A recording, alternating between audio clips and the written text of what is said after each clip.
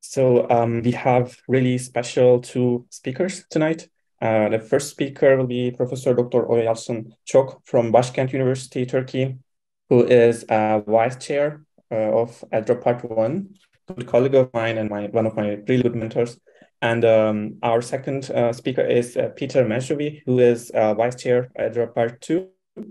And to remind you, uh, I have a couple of things to remind you before we start. Uh, throughout this webinar, uh, you, should use the QA button and we will uh, answering uh, the questions at the end in the discussion session. And um, we will be asking you also two questions. Uh, one question in the beginning right now about your position in your anesthesiology career and, and another surprise question in the end. So um, as a spoiler, I was privileged to listen this uh, really um, specific session in our national congress. So um, as a spoiler, it will be really good and a really useful uh, session for um, mostly for trainees and for all regional anesthesia uh, enthusiasts. So um, please, Professor Dr. Oya Yalçın Çok, the microphone is yours. Uh, so I will break down the EDRA part one, the written exam part for you.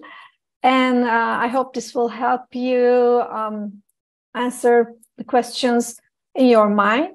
Uh, the before starting actually talking about part one, I just want to say that I have a big conflict of interest because I have been in this group of people in this family uh, since 2012, and I enjoyed to be there very much. Other than being a diplomat and um, having insight in this uh, diploma system, I'm very happy to help you in your journey for this diploma.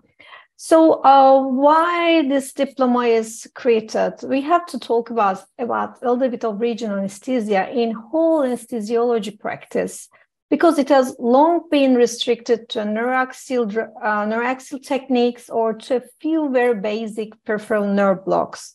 And it, the regional anesthesia topic treated as uh, something that only the interested anesthesiologists had further training.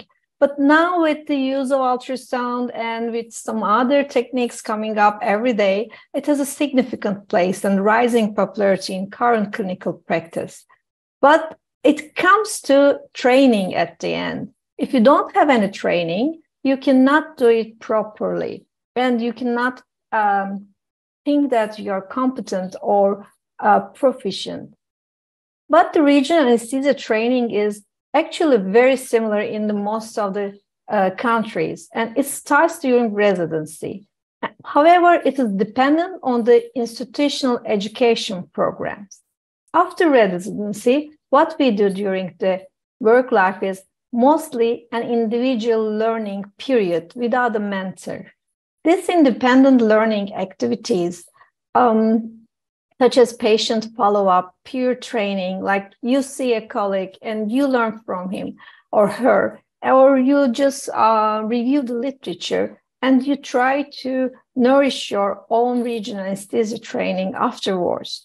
And there are some fellowship programs uh, we can see in some countries such as the, uh, the US or the UK, uh, these programs are mostly uh, aiming to uh, tra- to have trained people who can train others in regional anesthesia or uh, start up a regional anesthesia service or acute pain medicine service.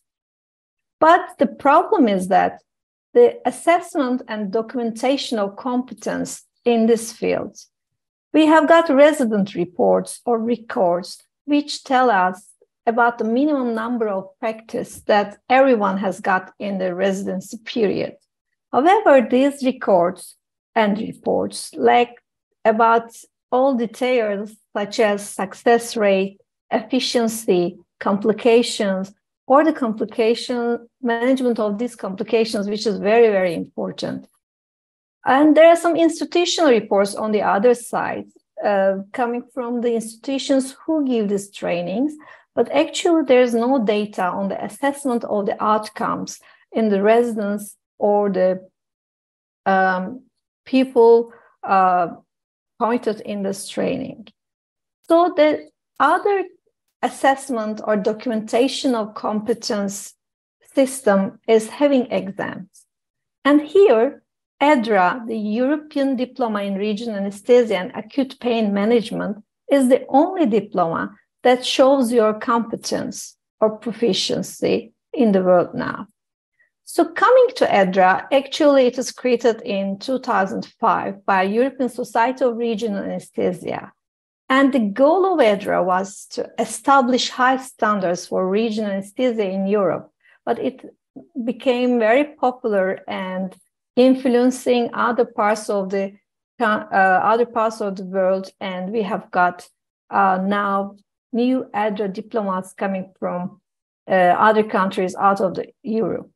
And um, actually, EDRA uh, encouraged the de- development and assessment of proficiency in regional anesthesia. And it widened the activity spectrum of anesthesiologists who are already in regional anesthesia practice. And what is new with EDRA? We have got new um, systems to make everything easier for the candidates, such as remote exam systems like written exams or part two oral exams. You can have them on online systems. We lowered the uh, standards for prerequisites a little bit because COVID pandemic days um, limited EDRA approved workshop attendance. And um, Peter will be telling you more about this later on.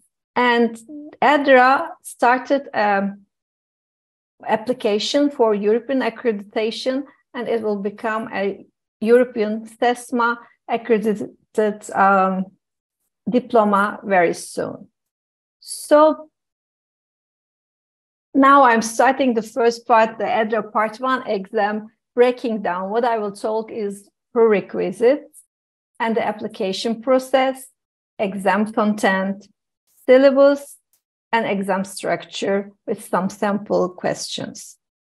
For prerequisites, actually, it is not easy to start a written exam application because you have to be a medically qualified physician for it first. It means that the other anesthesia practitioners, um, other than being a medical phys- physicians, cannot apply for this exam. And you have to have an official anesthesiology training program for minimum of two years before applying for the examination. And you have to be an ESRA member. For application process, there's no limit of attempts for candidates applicate, uh, applic- applying for EDRA Part 1 exam, and there's no need for workshop attendance. The only thing that you should go to ESRA website and click on this web uh, address, and you will be able to see upcoming or next EDRA Part 1 written examination sites and dates. After you choose a date or site which is uh, suitable for you as these samples, then you will click the application site and this click will take you to official application um, program of EDRA.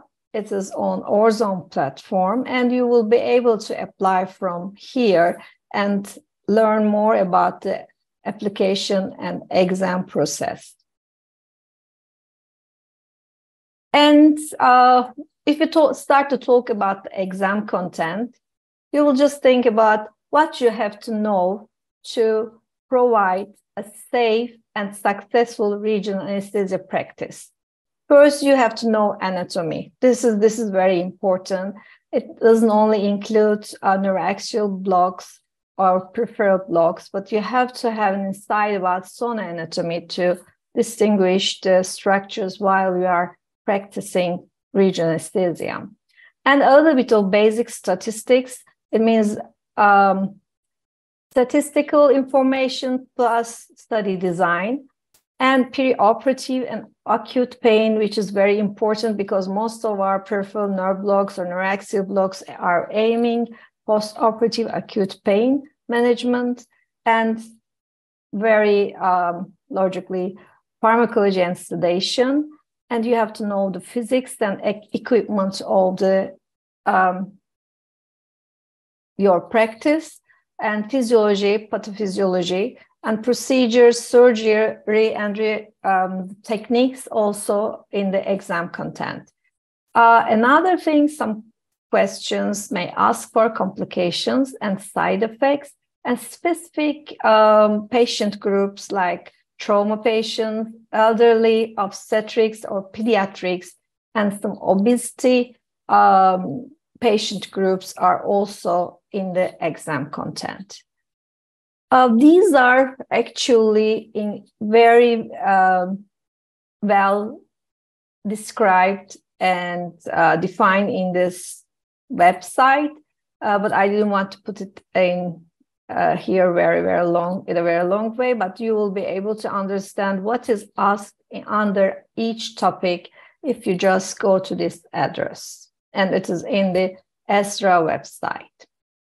So where will you study?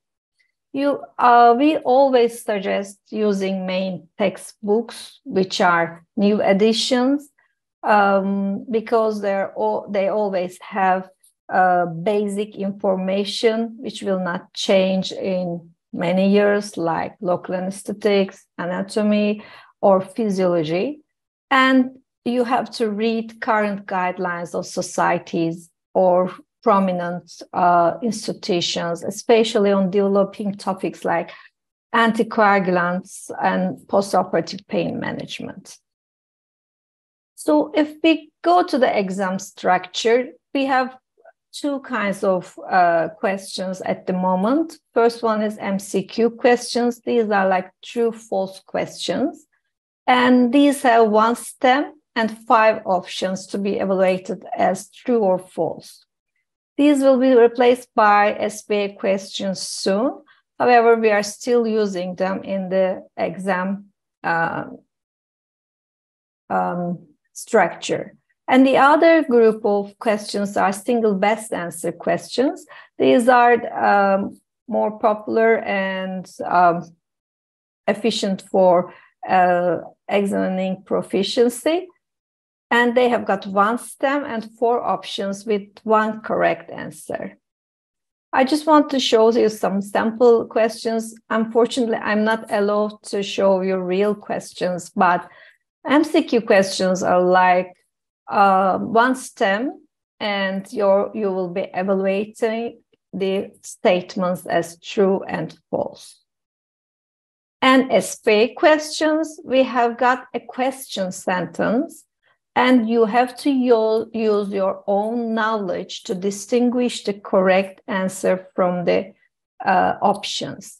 And these stems uh, samples may include, or these stems for the questions may be direct questions looking for your exact knowledge, or they may be like a scenario, or they may just um, describe a situation and your judgment according to regional anesthesia techniques, um, drugs, or all related procedures, complications, and uh, their treatment. And just to uh, tell about this part one examination, written examination, the language of the exam is English if it is not offered in Spanish or Turkish. And we are working on more languages to be included in this translated exam spectrum.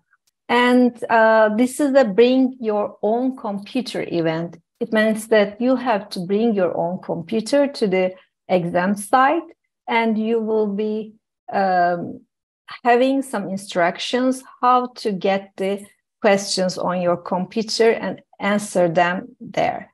And you may check your computer at the application page directed by ORTRAC uh, platform. And another thing that exam duration varies uh, according to the proportional MCQ and SBA questions, and the results are usually announced in two to three weeks. And you may find more detailed explanations at this website, ESRA website, and under the uh, tag of diplomas, you will find EDRA diploma and part one section. So uh, before ending my breaking down EDRA part one uh, session, I would like to tell you a little bit about EDRA, its value and significance. This is what I feel that I have to tell you because I experienced it myself. I can tell you that it's a big contribution to your CV. It's a document for proficiency, and it really increases your eligibility for career development. And it's also a gate to take assignments in ESRA activities or regional anesthesia activities done by other national societies. And you can have um, instructor, lecturer positions at annual congresses or workshops. Also, you can get into EDRA activities as an examiner and board member, of, member after getting EDRA diploma. And it's a real step in your individual achievements. Actually, all of us uh, live according to our uh, our needs. Our basic needs, physiological needs, are under all other uh, needs like safety, love, longing. This is a very famous uh, diagram of Maslow's hierarchical needs. And what I believe is that EDRA diploma belongs to your self respect, esteem, self actualization, and realizing your potential. I can say that you will be very happy when you get this because it is a diploma. It is not required, but you get it for yourself. Thank you very much. I just want to give the talk to Peter. Um, yes, thank you very much for this um, encouraging and moving presentation for the exam. Um, for, yeah, before I hand over the microphone to uh, Peter, can we just um, share the results of our first questions with our audience? Mm, yeah, we are, yeah, we have um, over 200 people from different uh, places on their anesthesiology career. And uh, we've been receiving a lot of questions so far, and we will be, um, our speakers will be uh, answering them at the end. Now I'm handing over the microphone to Dr. Peter for his presentation about EDRA Part 2. Please. Thank you very much, uh, Görkem. Uh, good evening, ladies and gentlemen. Uh, I am uh, Peter Merjavy, and I will talk about the EDRA Part 2 exam. So EDRA Part 2 exam uh, is a little bit more complicated and there are a few more new changes. So what I, I'm going to talk about is the new exam structure. I'm going to uh, bring more light into the scoring system and then we're going to answer uh, some questions and some issues related to the workshops uh, for the candidates and some uh, questions for the organiz organizers. Uh, if you um, want to know uh, more information about uh, EDRA exam, as Oya has already mentioned, if you click on the ESRA website, it will get you into this homepage and then you click on the diplomas, which you can see here on the right bottom corner, or you can type uh, the esraeurope.org slash EDRA or EDRA part two. When you click on the EDRA part two, the first uh, what you're going to see are the uh, links for the access for the full prerequisites. So you can have a list of the things you need to know before you apply, or if you're considering to apply. There's loads of uh, frequently asked questions, and we are um, expanding the pool. It's now uh, probably around five pages of the uh, FAQ. So uh, loads of questions which you probably want to ask. You will find the answers there. If they are not, let us know. We'll answer them either during this webinar or we will put them up in the FAQs later on. You'll find some of the uh, interesting information about the code of conduct. There, it's more for the examiners, but uh, they're freely available. What is important for you, for example, to find out is that we have a full list of uh, examiners. And if you do have any conflict of interest with any of the examiner, positive or negative, let us know prior to your exam and we will uh, be able to not to pair you with that uh, examiner during your practical uh, exam, whether this is a 2A or 2B uh, exam, obviously state the reason for your conflict of interest. And then we'll uh, have something to uh, talk about the EDRA approved workshops, but I'll, I'll cover it later. Any applicant who successfully part, uh, passed the part one uh, before the applying for the part two need to send us the confirmation by the head of department or program director that he or she has done uh, at least 150 neuraxial blocks, 150 peripheral nerve blocks, some of them upper limb, some of them lower limb, and uh, trunk blocks. So it cannot be 150 ankle blocks, for example. And then uh, he needs to have a certain certain uh, um, normal balance. Uh, and then we need to uh, have some certificate of attendance of the workshops, but I will talk about workshops later. Recently, I had a question from a colleague who works in uh, as an independent practitioner in a private hospital.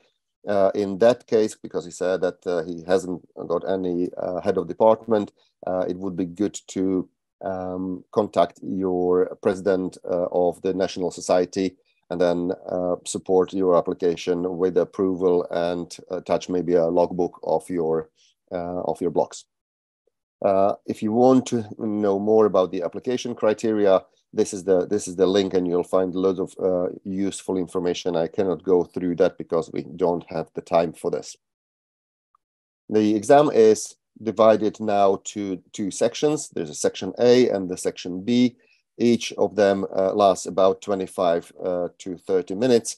The uh, EDRA uh, section, EDRA two parts, section A uh, can be um, examined um, orally uh, in an online fashion, which we have introduced uh, last year, and also in face-to-face. We will offer a couple of places in during the um, in Paris during the World Congress, uh, and also the vast majority will be Section 2B.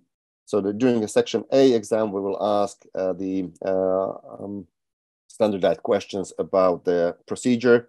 So, for example, what are the uh, analgesia and anesthesia options for thoracotomy? And then we will discuss various kind of uh, options. And then also we will discuss uh, some common um, uh, regional anesthesia related complications, for example, uh, local anesthetic systemic toxicity or failed block or um, spinal epidural hematoma, stuff like that. In section B, we will um, have the practical demonstration of anatomy. We have the live models. We would like our candidates to uh, demonstrate the uh, anatomy for uh, various kind of blocks.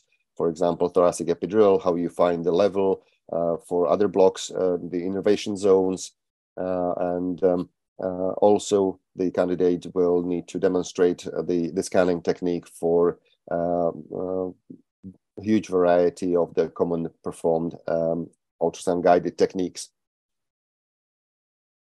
So we'll have uh, that uh, new format divided to, into two. You can do it in a in a in a in a way which suits you. So you can do 2B prior to 2A, or you can do 2A prior to 2B. It's not a it's not a it's not a problem. Whatever whatever suits you more. You will get the results both for the EDRA Part 1 or EDRA Part 2 within four weeks of the examination. If you do uh, fail uh, the EDRA Part 1, you can do it unlimited times. There's no difference or there's no limit between uh, in time between the EDRA Part 1 and EDRA Part 2. So if you leave one year or two years or 10 years, it's up to you. There's no, no limit for that. And then the uh, failure for the um, Part 2, uh, that can be repeated maximum three times.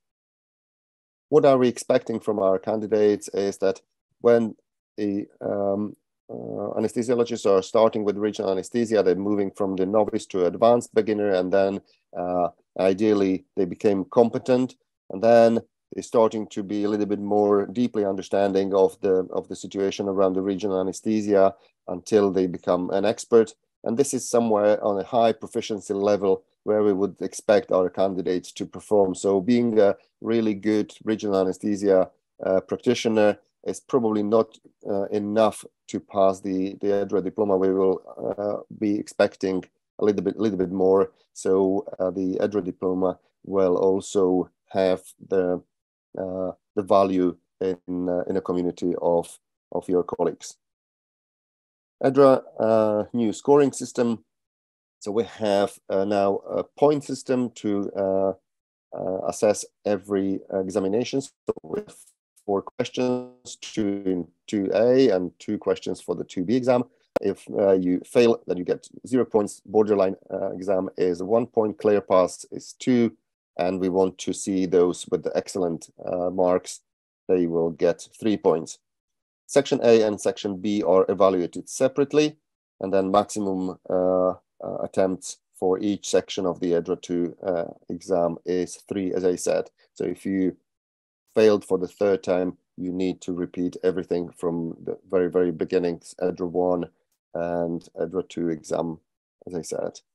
So we have a couple of potential options, how you're going to score. So for example, if you answer your section A with two clear passes or clear pass and excellent exam or two excellent exams, then you're this is the this is the best way you can be. And then if you go for the section B exam and you, if you score uh, exactly the same way, you're going to pass no questions, absolutely no problem. If you're going to have two borderline exams or the answers for, uh, for either section A or section B, or if you score uh, failed, so zero in any of the questions, that exam is uh, fail.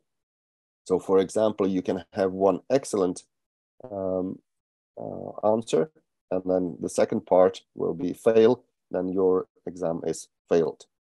What if you have one borderline and one clear pass or um, or excellent? Then in that case, you can bring one of the borderline answer to your overall success if you pass the other uh, questions very clearly. So you can you are allowed to have one borderline answer from all four questions. If you do have two borderline answers, like you see one plus two in section A and one plus two in section B, then that will mean that your exam has failed. In that case, you can decide which section you're going to repeat, whether section A or section B, it's up to you, and improve your score in order to have enough points to pass successfully the exam. After every exam, we do a debrief, whether this is like this online or we do it face to face, where we discuss the, the borderline cases or uh, those who we we're not sure whether uh, we should let them pass or not, and we get the the overall um, uh, feeling and uh, and, and um, uh, opinion of the of the other examiners. We have a huge pool of examiners, and there there we there we decided where we're going to go with that. If you want to know more about the new scoring system, we have published uh, a nice article in uh, December 21 in issue 7 of the ESRA newsletter or ESRA updates. Uh, and then you can have more information there.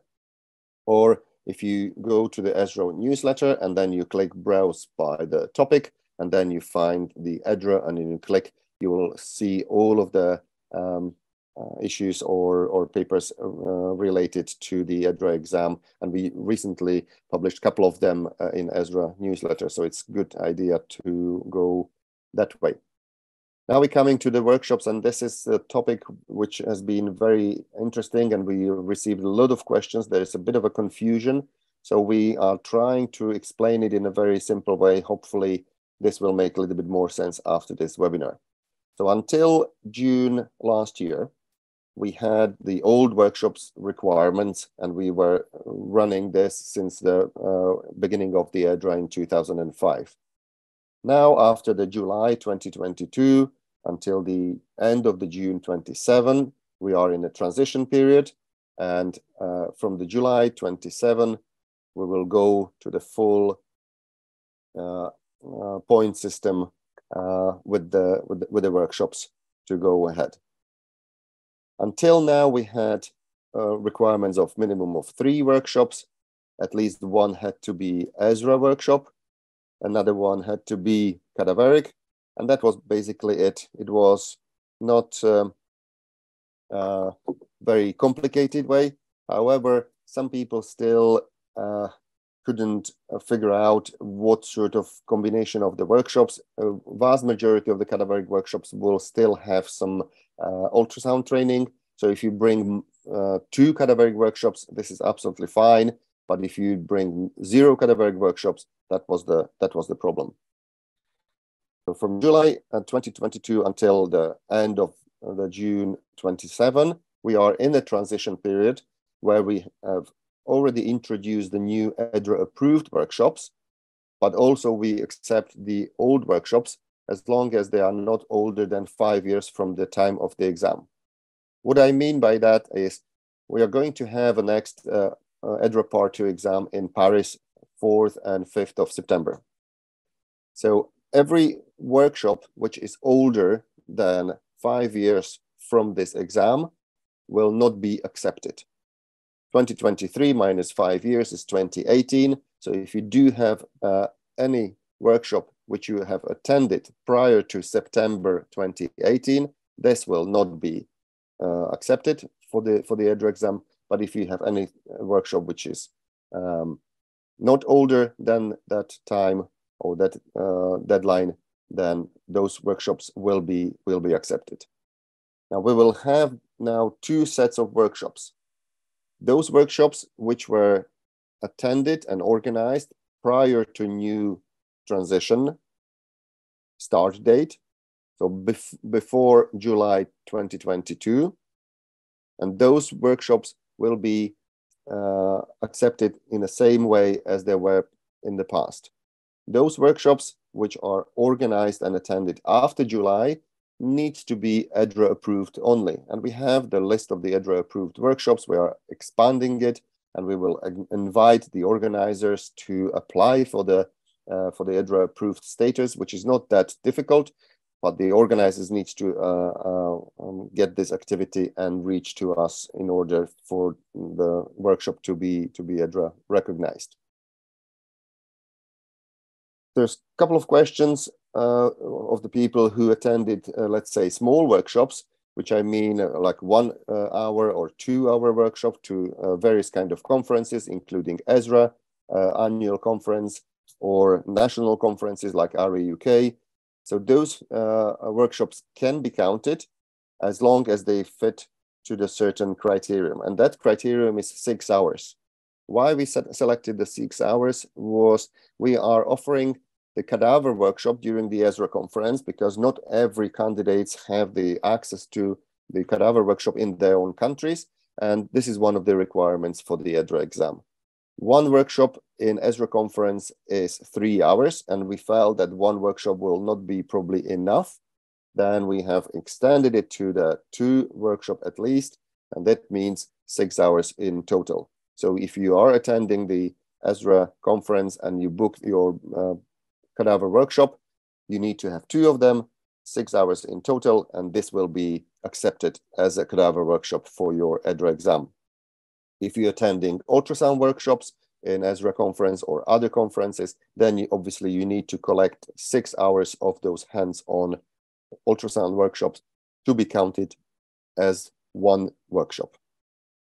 Hopefully that is a little bit more clear why we have introduced those new EDRA approved courses was that unfortunately we have seen the candidates who were very well prepared for the uh, theoretical part of the exam, but because of the very poor preparation from poorly executed workshops, they failed the exam and we were really sad to, to see them uh, needing to, to reapply for, for resit of the, of the exam. When we retrospectively looked at some of those workshops, so some of the workshop claimed to be cadaveric, but uh, hands-on cadaveric part was limited to one or two hours.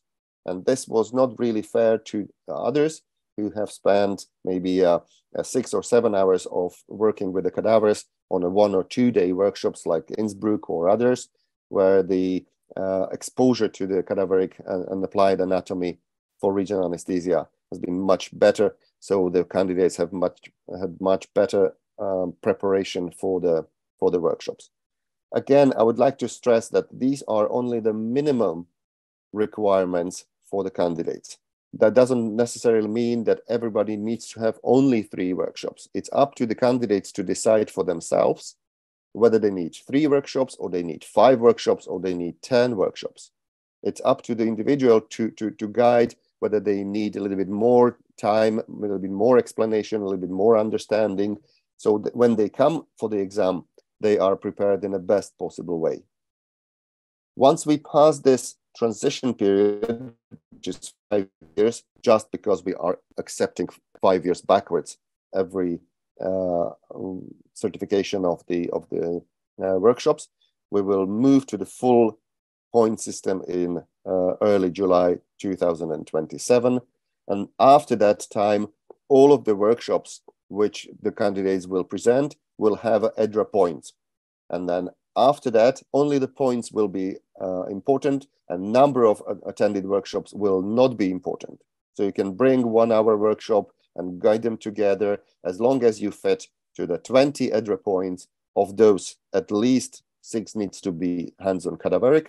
So we can fill this with, let's say, two uh, um, ESRA cadaveric workshops during the conference for those people who cannot attend any any other cadaveric workshops. But we would obviously um, advise people to attend those really uh, detailed and big workshops for cadaveric demonstration. And then 10 of those points at least needs to be hands-on ultrasound points. Again, these are the minimum requirements. If you bring 25 EDRA points or 32 EDRA points, it's going to be probably working for you as a candidate much better. But these are the minimum points uh, which will be required after 2027. The only thing which will stay that one of those workshops which you submit still needs to be ESRA. So this is this is not changing. So hopefully this will bring a little bit more um, clarity. If you want to see the frequently asked questions, please visit this uh, this link. And as I said, uh, the uh, the list has already grown to the five pages and it's alive, so it will grow even further. Introduction of the EDRA approved criteria for the workshops will serve the organizers to apply for their own workshop, which they've been running for, uh, for a number of years. And uh, loads of them are of very, very good quality. So we are very interesting to get those uh, people apply for the EDRA approved status. And once you have the EDRA approved status, then your candidates will be able to attend uh, and use it for the for the exam. So this is one of the uh, examples how you calculate the, the, the, points and you it's it's a uh, good idea when you submit your workshop that you will even uh, in a color differentiate between the red which is the hands-on cadaveric workshop uh, points and the blue ultrasound hands-on workshop uh, points and and the other points. So you calculate uh, those points uh, from the from the from this template and then this is how you can apply for a certain amount of overall points and then you need to break it down as an organizer of the workshop to hands-on cadaveric and hands-on ultrasound points. Workshop director has to submit us the national cpd or cme certificate. So obviously your workshop will be um, registered in a, in a national body cadaveric and ultrasound points needs to be highlighted in the application form. At least 50% of the workshop faculty members must be ESRA members, and then workshop director should be ideally EDRA diplomat or have some uh, huge uh, academic background or substantive teaching experience in the field of acute pain management and regional anesthesia. Maximum ratio for participant and faculty for, per each station is one to eight for both for ultrasound and for the cadaveric workshops. Obviously, the less ratio is much better because if you have a one to four, then it's or one to six. This is this this will give your candidates much better preparation for the uh, for the exam. EDRA board uh, reserved the right to send one board member or EDRA examiner for those workshops which we do know do not know or we have never heard of uh, before that, just to make sure that we are um, ensuring that the quality of the education and performance of the of the workshop will be of, of sufficient of sufficient level. How we calculate those points for hands-on, whether this is ultrasound or cadaveric, one hour of teaching requires one point. And then if we have any anatomy lecture or live demonstration for the for the sonoanatomy, this will get you half point per every hour. So if you do four hours of anatomy lectures, this will give you two points. And if you have four hours of cadaveric hands-on training, that those will give you four points. Uh, apply slightly earlier than your your date of the uh, of the workshop because we need to have a time and we are overwhelmed with a number of um, with the number of requirements at the moment. Uh, so we have the time to assess uh, the uh, the points and we can come back to you. Once you are successful in the process and you were given the EDRA approved status, this is issued for three calendar years, including the year of the registration. So if you apply this year, you will get it for 2023, 4, and 25. And the uh, workshop will be automatically uploaded to the ESRA website, and it will be listed uh, among the EDRA approved workshops. After the after the uh, workshop, we, we require the uh, course organizer to uh, submit the feedback within 30 days and if the program or the faculty members will dramatically change, then uh, the organizers needs to resubmit the new application. Hopefully, you'll be successful in your uh, European diploma in regional anesthesia, like the Cristiano Ronaldo has been in 2016. And I wish you all the best and happy to answer any other questions which you have. Thank you very much, uh, Peter, for this detailed um, presentation about part two. Yeah, yes, we have been receiving so many questions and Dr. Çok already answered some of them in the answered part. You can see the answers. And before we um, start with the discussion part, and uh, could we please share the second questions for our audience? Uh, I want to thank you both for timing, uh, so we could save some time for the discussion. Yes, um, then unfortunately, we don't have uh, enough time to answer all the questions. So uh, as I said before, you can see some answers uh, in the answered part, and we will be randomly choosing a few questions uh, to discuss lively. So, um, uh, are there any example questions and answer for part 2A or B, to get better understanding of the level required for a clear pass. Thank you. From Leon Kong. I think it's for you, Peter. So the uh, uh, EDRA Part 2 exam is... Okay. Sorry, yeah. yeah, okay? we can hear you Yes. Perfect. Uh, so EDRA Part 2 exam is um, live discussion between the, the two examiners, maybe three examiners and the, and the candidate it can swing from one side to the other side. So it's, it's very fluid. We do not have any very rigid strategy. We will uh, adopt to the, to the style of the, of the candidate, and then we will respond in a, in a certain way, which will make sure that the candidate will present themselves in the best possible way and answer the question in, in the best possible way.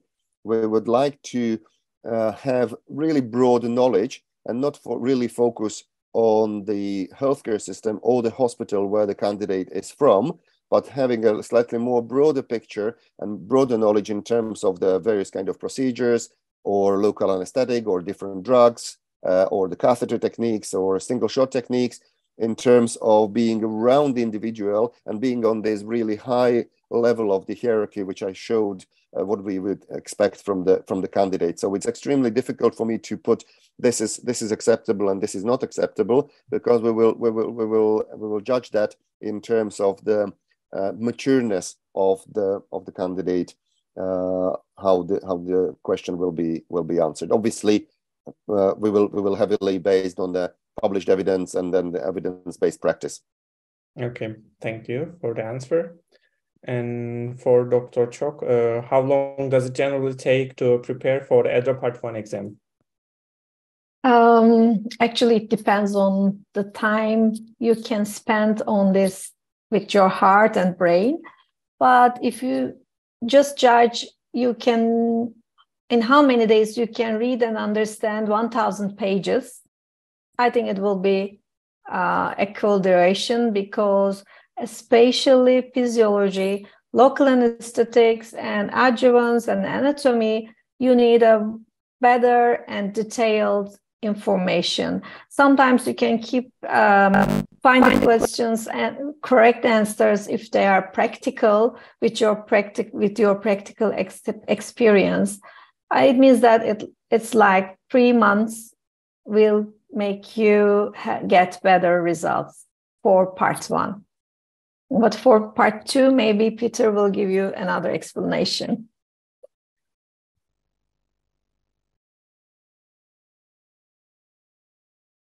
Um, yeah, we have been also receiving so many questions uh, about um, the limited spots in the Paris Congress.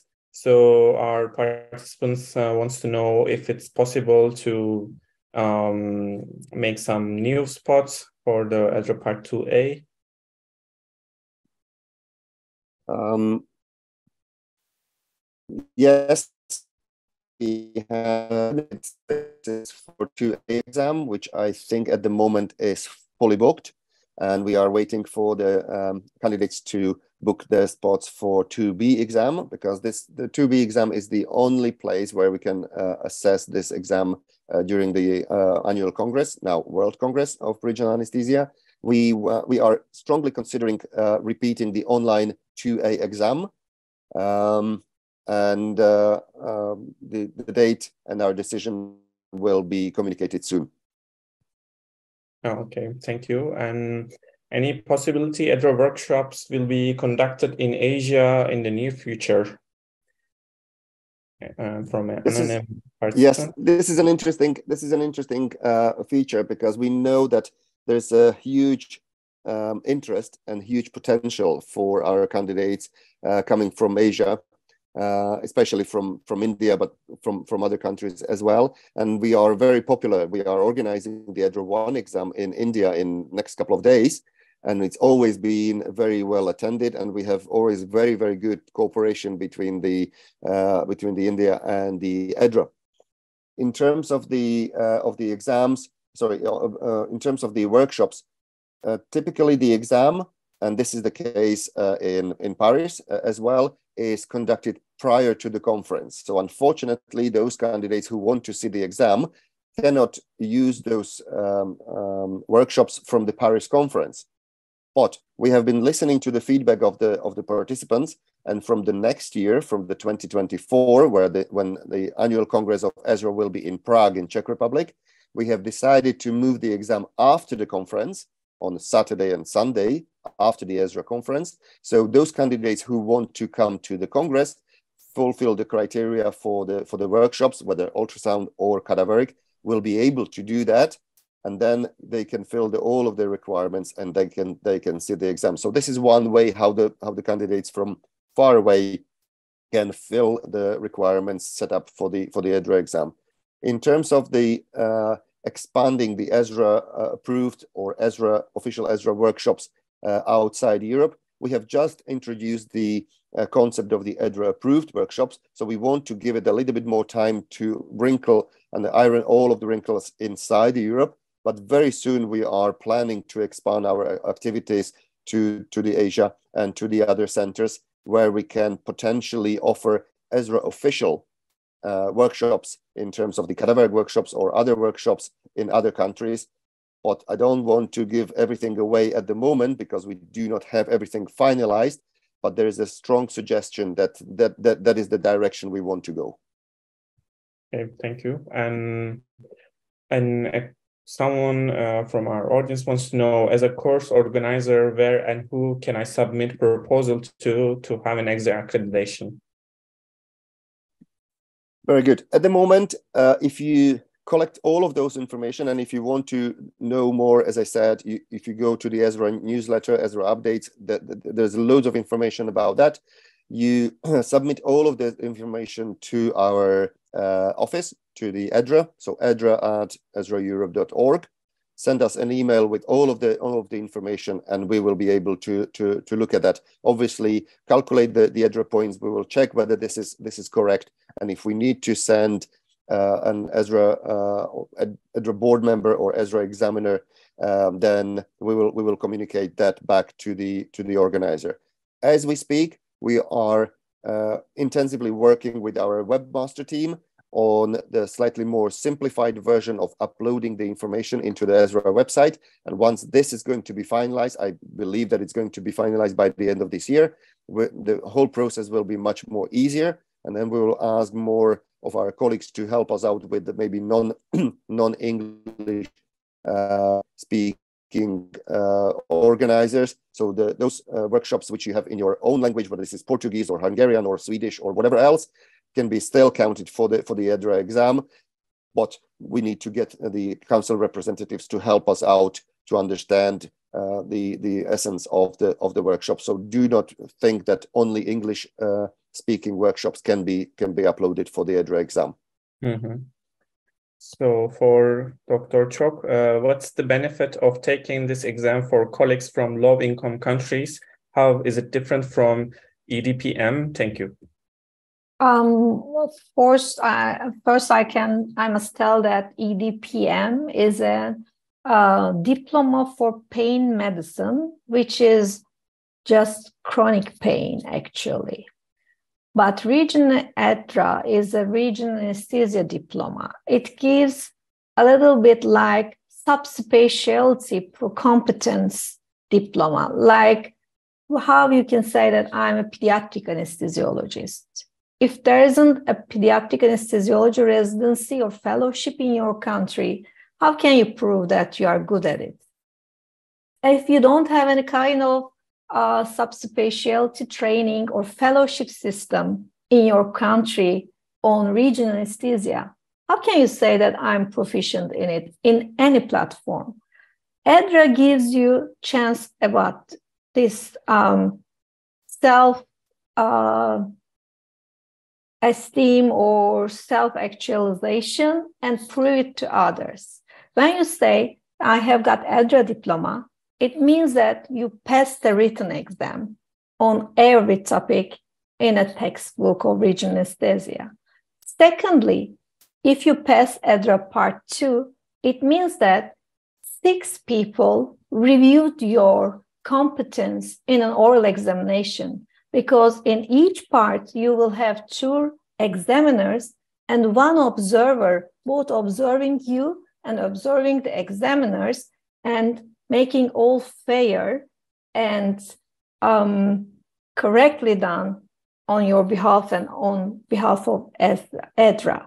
So it means that some other people out of your place um, very uh, objectively uh, trying to understand your competency and you get a diploma after all of these so it is very easy to prove your competency to, at any other platform. If you are working in india but just applying a work at qatar you can show this.